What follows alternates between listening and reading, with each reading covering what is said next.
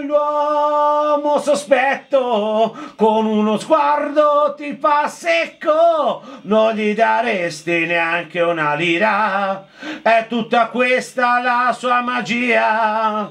È l'uomo sospetto, che se provi solo a parlare, un buco in testa lui ti può fare, un buco in testa lui ti può.